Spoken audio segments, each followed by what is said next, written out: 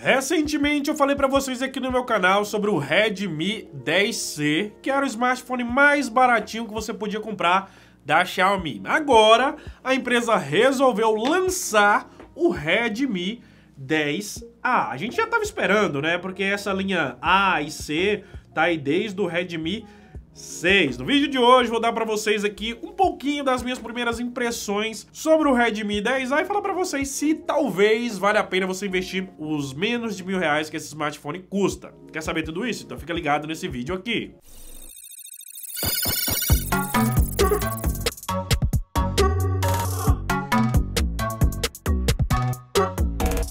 E aí pessoal, como é que é? Tudo tranquilo com vocês? Sejam muito bem-vindos a mais um vídeo. Eu sou o André Felipe e hoje vamos conversar sobre o tal do Redmi 10A, smartphone mais barato que você pode comprar na linha de smartphones e marcas Xiaomi, certo? Smartphone que é mais barato que o Redmi 10C e que é inferior ao Redmi 10C, tá? Vocês têm que já botar isso aí na cabecinha, tá? Se você tá em dúvida entre Redmi 10C Redmi 10A, eles são bem diferentes, ok? E se você estiver pensando em comprar o seu Redmi 10C ou qualquer outro dispositivo Xiaomi ou outras marcas importadas, entre em contato com a JTG Eletrônicos, que é uma loja nacional, super parceira do meu canal, loja que eu confio que você pode confiar também. Os contatos vão estar na descrição. E galera, como eu falei para vocês, o Redmi 10C é o smartphone mais barato que nós temos hoje na linha Xiaomi, tá? Falando de Xiaomi,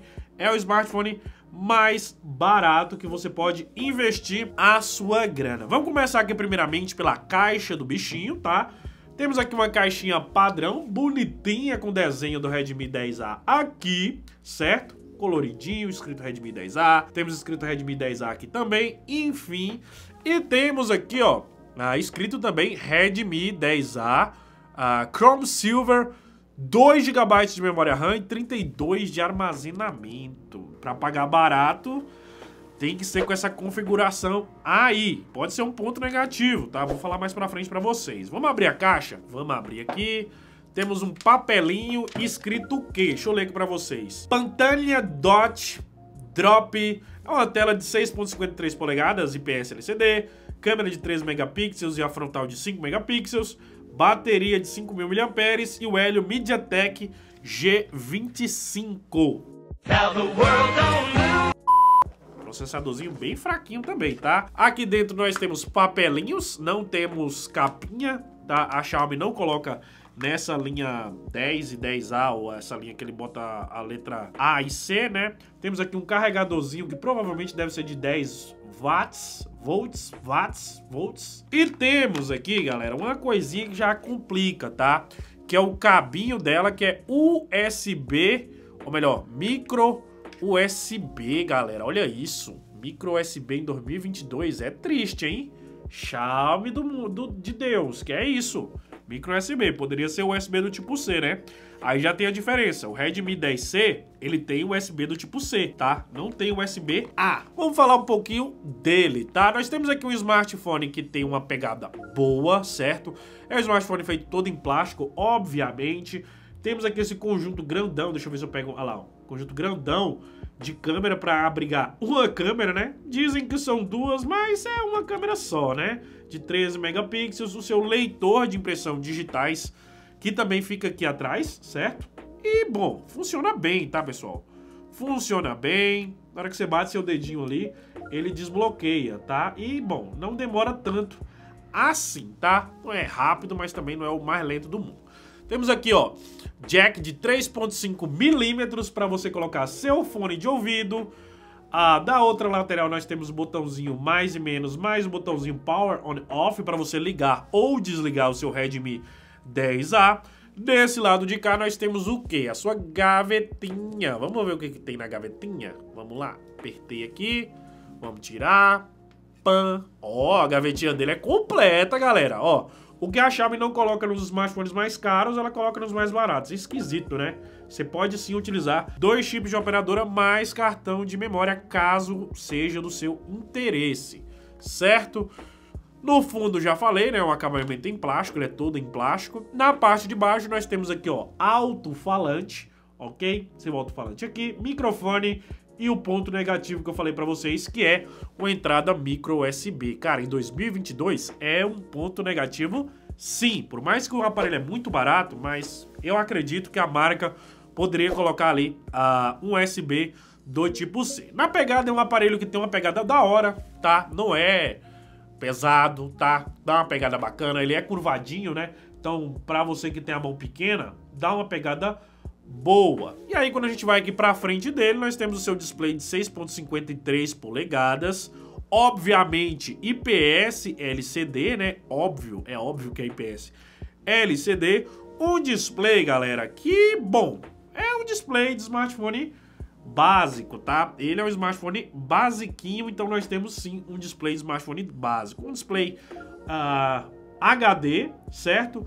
Com a tecnologia IPS LCD, nada de muito legal, nem nada disso aqui não. Bom, é um display básico que nós temos aqui pro Redmi 10A, ok? Displayzinho, ok, displayzinho bacana, taxa de atualização de 60 Hz, nada de muito, nossa senhora, que legal, que maravilhoso. Não, galera, nós temos aqui, é isso aí. Daí quando a gente entra aqui nas câmeras dele, temos uma câmera de 13 megapixels aqui na parte de trás e uma câmera de 5 megapixels na parte da frente. Olha o tanto que demora para poder virar a câmera, né, pessoal? Então, a câmera de 13 megapixels. Enfim, vou botar o resultado aí para vocês. Primeiramente, ambiente com boa iluminação, fotos minhas.